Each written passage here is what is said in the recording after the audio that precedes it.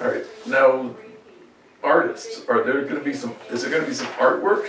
There is going to be some artwork. Those are in the silent auction. You can bid on these uh, artists' uh, artwork. Uh, one of them has done this before, Julie Bowland. I got an original piece of hers.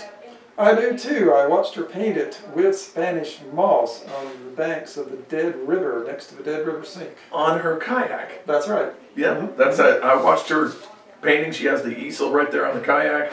Um, asked how I might buy that. She gifted it to me. I lovingly framed it. It's up in my office right here.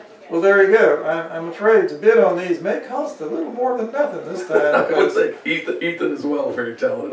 Oh yes, his his ones uh, and and Julie's both. They've become very well known. Their artwork tends to go for a pretty penny, but you know at the advantage of the silent auction, you might get it for less. His is so big, he's bringing it in. It's like uh, wall size. I paid him a very decent price for the two you see right over my shoulder. Those two pieces are Ethan Abbott pieces as well out Oh, there. it says that right on there, doesn't it? Both of both of those are. So every time you come to the station, know that that very talented artist created both that are up in this.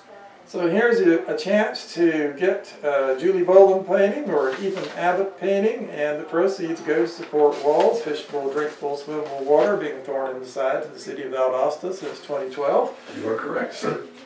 and now only He, now. he was he was gritting his teeth when he said No, that. well, no. I mean, it's been